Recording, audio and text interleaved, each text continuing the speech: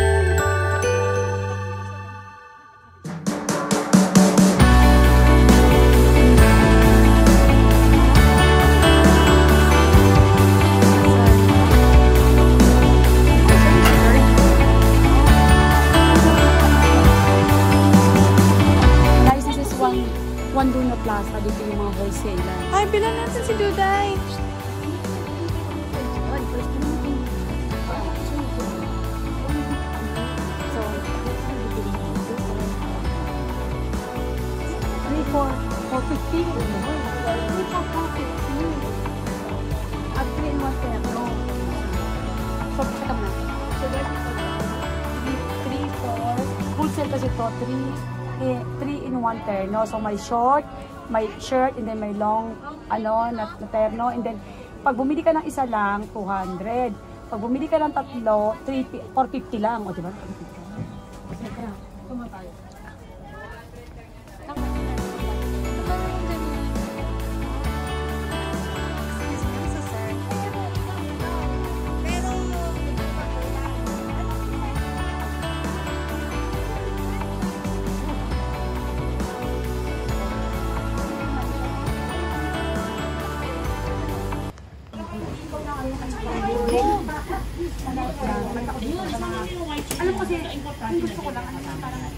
Hi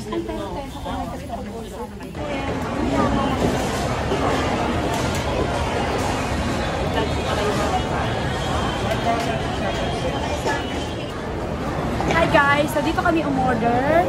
Chapter guys food. So, tiyon ako ng picture kung magkano yung food namin. O, dito tayo na lang. Sir,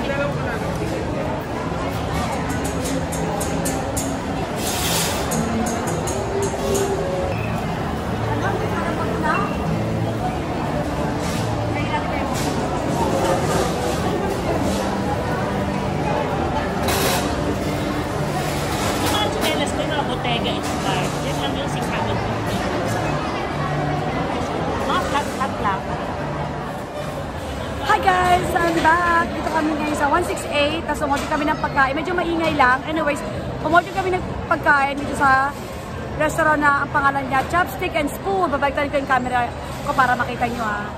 Ayan guys, dyan kami umorder ng food. So, pag binili, so far na niluto pa yung food namin. Tapos ko sa inyo lahat. And then kung magkano na-spend namin. Guys,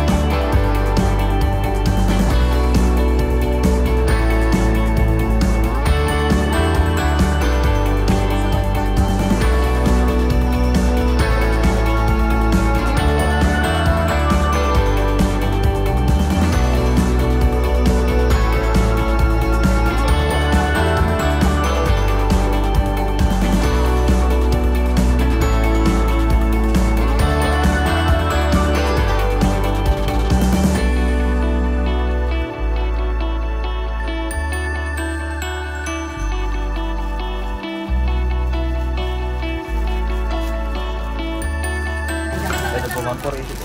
480 dito. 480 dito. 480. Guys, 480 lahat. So, kung dito lang.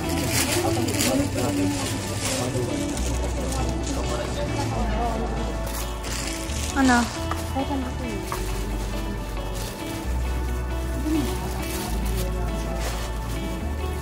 So guys, dalawang short.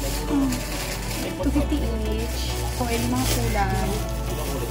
Kinuha ko din ang punta sa white. Kuya, 450 na lang kaya. Sabi ko, tumawad. Ayan, ito kuya. So, Ay,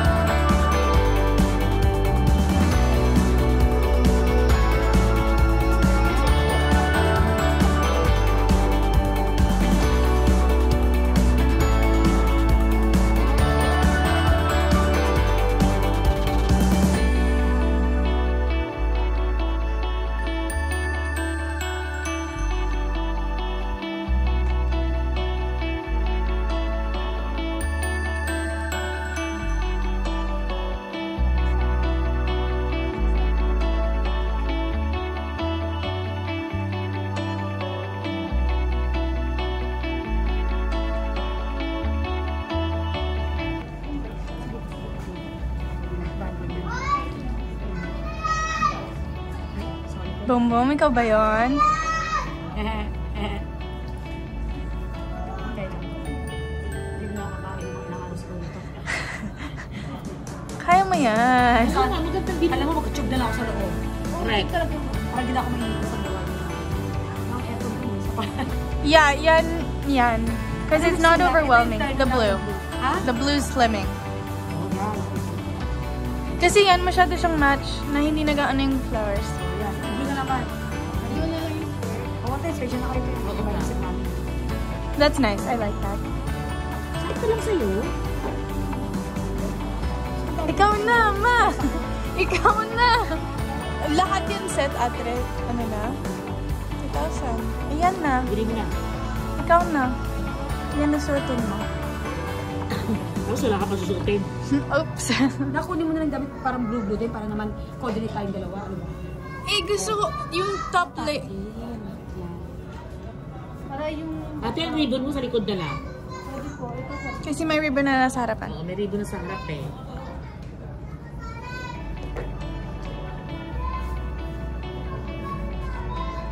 Para tayo mga sinaunang ano. Ano yung show na parang old? Yung mga... Nakalad sila naka Mary Clara. Ano, ano tawag dito? I like that. Yun na. Bilhin mo na. Na, alam mo ba kung bata ka rin? Ito ko lang yung rin. Nainis ako, tanggal din isang buto. Ito na. I don't know, it's small eh. Kung hindi na ako mag-iisip ng isang nga. Wala ko yun to.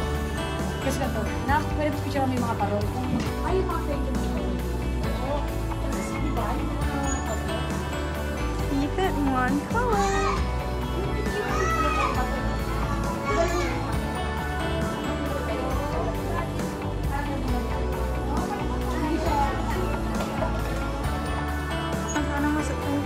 I got you.